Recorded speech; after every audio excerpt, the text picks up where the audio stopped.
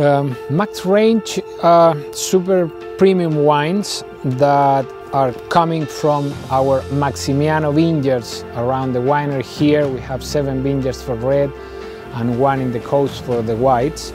This is why the name Max, own vineyard of course, and wines that wants to show um, a balance between um, complexity, aging potential, a lot of freshness, a lot of um, intensity and the typicity of the variety.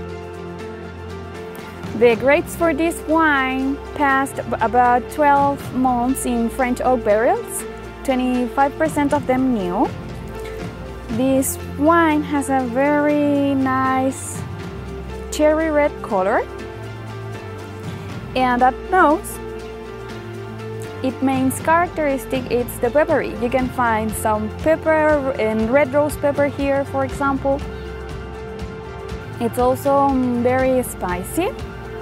You can feel the peppery at now. Also, the bitter chocolate has a very nice polished tannin. It's very soft, has a good and refreshing acidity. Feels like very nice and refreshing at mouth.